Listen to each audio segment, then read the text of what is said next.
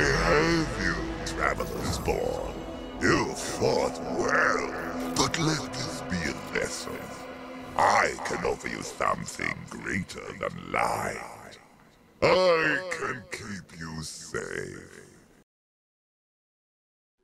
Welcome back Guardians. Thank you for your previous support on the last videos. Like I said, I haven't given up on Destiny lore, but rather wanted to provide entertaining content whilst Destiny 2 corrects its future. Regardless, let's jump into the next Destiny lore episode about Calus.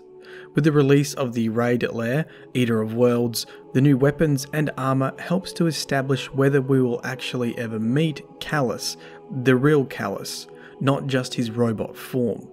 Today I will discuss why, from a lore perspective, it is likely that we will meet Calus, and hopefully how Bungie will deliver this. The artwork seen at the beginning of this video was provided by Gammatrap and paid for with your generous donations on Patreon. A link to Patreon is below if you are interested. This is Myelin Games, and I hope you enjoy this latest Destiny 2 lore episode.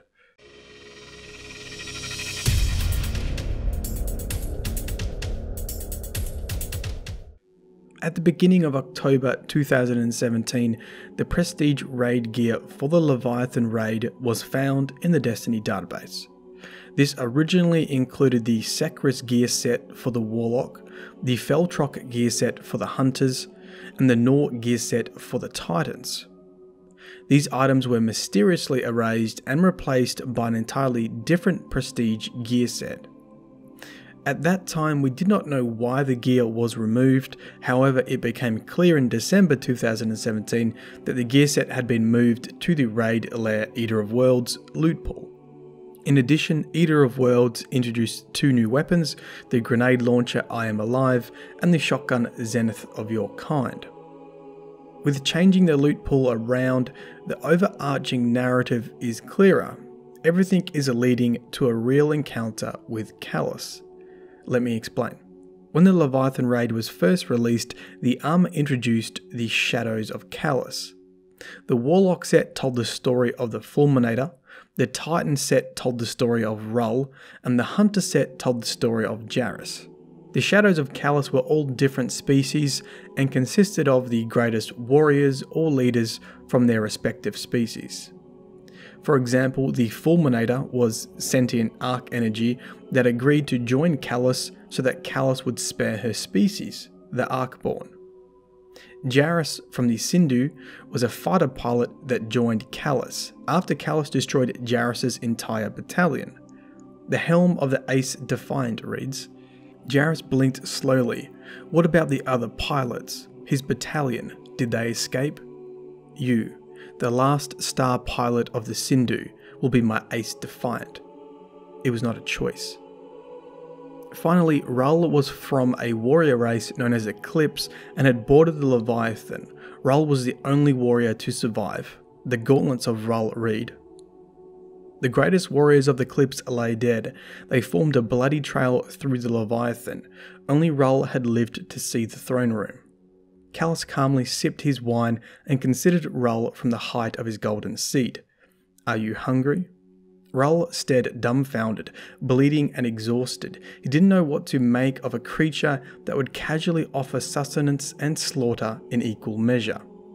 I offer you a warrior's paradise, Rull of the Cliffs. Join me and be counted among the lucky few that might see the end of this world.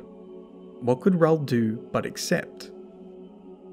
So, to summarize, the Leviathan normal raid gear introduces the concept of the Shadows of Calus, different species that Calus recruited into his army by either obliterating their entire forces and seeing what remains, or by threatening to destroy their entire species. The Shadows of Calus go on to assassinate Calus's enemies, specifically the ones who assisted Ghaul in the military takeover. Now we can continue the story with the Prestige Raid gear set. Primarily, the Prestige Raid gear documents Calus's internal thoughts and how he has come to the conclusion that he would forgive Ghaul for his betrayal. In the robes of the Emperor's minister, Calus offers Ghaul the title of Primus of the Red Legion. The item reads I think it is only fair to warn you. I mean to reincorporate the Red Legion. I'm their rightful emperor, and I shall offer them forgiveness. All they must do is repent and submit to their re education. I feel like it's only fair to make you the same offer. How does Primus of the Red Legion sound? And in the vest of the Emperor's agent, Calus says, The end will be so much more interesting if we face it together. At first, I was quite confused by this direction because it felt quite different from the lore surrounding the Shadows of Calus. Like, why do we care if Calus has forgiven Ghaul? I think now I understand the significance of this. The prestige raid items also compares Guardians to Ghaul and how Calus now equally admires Guardians. The Warlock set says this when comparing Ghaul and Warlocks. I see the same wisdom in you, my dear Warlock. Perhaps when the time is right, we might discuss my ideas. The Titan set says this when comparing Ghaul and Titans. There was no opponent too large or powerful for Ghaul. His determination was everything. I see that strength in you, my dear Titan. The Hunter set says this when comparing Ghaul and Hunters. It was only at the very end that I even began to suspect him. He possessed an absolute single minded dedication to his life of deceit. I see the same cunning in you, my dear hunter. So I now think that the Prestige Raid armor is more about Calus recognizing Guardians rather than the focus point being Calus forgiving Ghaul. We of course killed Ghaul and therefore should even impress Calus more. The player now understands that Calus recruits the shadows of Calus from any species, i.e., the story of the normal raid gear, and Calus has started to take an interest in Guardians, i.e., the story of the prestige raid gear. The introduction of the raid lair Eater of Worlds puts the cherry on top, specifically the raid shotgun Zenith of your kind. The item reads Earth has no shadow, not yet. Calus, Emperor of the Cabal. I have come to admire how you rally against the impossible. It's not your continual success that amuses me. Your light assures victory. It's your refusal to kneel. You fight and you die without a second thought. For what? Personal glory? Wealth? The wretched denizens of your refugee city?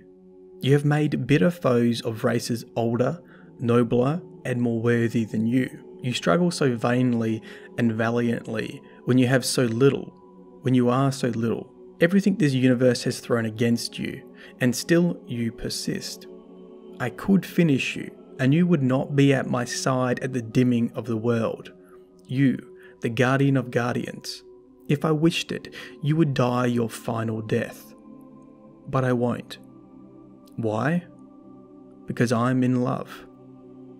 Calus. Emperor of the Cabal. Calus states that Earth does not have a shadow. Of course, he's referring to a shadow of Calus, just like Calus recruited a single surviving warrior from other species he destroyed. He then speaks about how he is in love. Calus also threatens that if you wished it, you would die your final death. And there may be some truth to that, as you complete the Eater of Worlds lair, Calus actually teleports you to safety into the rewards room. Depending on the ending that you receive, he might say,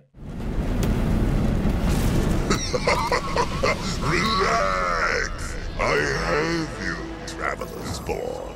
You fought well, but let this be a lesson. I can offer you something greater than keep I'm beginning to think there might be more to you than the cosmic power you wield. Given time, I believe you and I will forge miracles together. I promise you, we will meet again. You can see how the story progressed through the raid armor by firstly introducing the concept of the Shadows of Calus, i.e., the normal Leviathan raid, then Calus comparing Guardians to Ghaul, i.e., the Prestige raid gear, and finally Calus falling in love with the power of Guardians and saying how Earth doesn't have a shadow yet. i.e., the Raider Lair, Eater of Worlds. Interestingly, the Shadows of Calus have always been a single being, not a group of people like a raid team.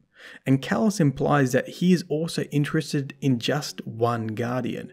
He says, You, the Guardian of Guardians. Almost as if Calus wants to recruit the top Guardian to become a shadow of Calus. This is somewhat reinforced in the name of the weapon, Zenith of Your Kind. Zenith means the time at which something is most powerful or successful. So, in this context, Calus is talking about the most powerful guardian of the time. Without doubt, Calus wants to meet us and recruit us, or at least recruit one guardian, into the shadows of Calus. So, my predictions. We will actually meet the real Calus. Well, I hope so. The lore definitely points in the direction that we will meet Calus. I predict that Bungie will continue to add raid lairs onto the Leviathan with the new expansions, at the very least with the Warmind expansion. Guardians will complete the raid lairs and continue to impress Calus. and I hope, I really hope, that before the Leviathan raid is retired, that Guardians will stand before Calus and Calus will offer us a place amongst the shadows. Of course, we will have to decline and defeat Calus, and that will be the finale that retires the Leviathan raid. That concludes this latest Destiny 2 lore episode. If you'd like to support the channel and cannot think of a comment, leave the word Zenith to symbolize the top guardian who will be offered a place as a shadow of Calus. As usual, it has been a pleasure. This is Myelin Games. Peace.